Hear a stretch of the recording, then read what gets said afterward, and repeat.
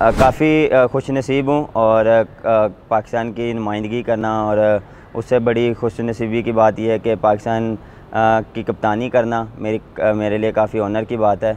और 10 से 11 साल क्रिकेट पाकिस्तान में नहीं हुई और बड़े बड़े प्लेयर बाहर खेलते रहे हैं पाकिस्तान में नहीं खेलते रहे और मैं इस लिहाज से काफ़ी खुश नसीब हूँ कि मैं पाकिस्तान की नुमाइंदगी कर रहा हूँ और इन कोशिश यही होगी कि अच्छा स्टार्ट दूँ मैं। आईसीसी ने जो ये लीग स्टार्ट की है, सात टीमें और होस्ट टीम क्वालिफाई करेगी, ना कि हम ये सीरीज़ जीतें, बल्कि अच्छे पॉइंट से हम क्वालिफाई करें और जब हम वर्ल्ड कप में जाएँ तो लोग हमारे बारे में बात करें।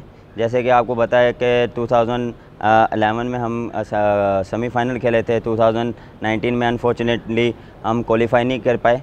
लेकिन मेरे ख्याल से रैंकिंग आपकी मैटर नहीं करती। लेकिन अब जो भी हम क्रिकेट खेलेंगे, ये हमारा 2023 के वर्ल्ड कप के लिए तैयारी होगी। और मेरे ख्याल से मैं काफ़ी कॉन्फिडेंट हूँ और मुझे पूरा भरोसा है मेरी टीम पे कि वो अच्छा स्टार्ट करेगी और क्वालिफाई करेगी और अच्छी परफॉर्मेंस देगी। हमेशा क्राउड ने हमें सपोर्ट किया है और जो हमने पिछले, जो पाकिस्तान में क्रिकेट वापस दोबारा आई, जिसमें जिम्बावे श्रीलंका, बांग्लादेश और फिर लास्ट में पीएसएल जो आई। तो मेरे ख्याल से इतना हमें सपोर्ट मिली, इतना प्यार मिला, इतना हमें चेयरअप मिला लोगों की तरफ़ से। तो अनफॉर्चुनेटली ये जो अभी कोविड नाइन्टीन की वजह से क्राउड अलाउ नहीं है।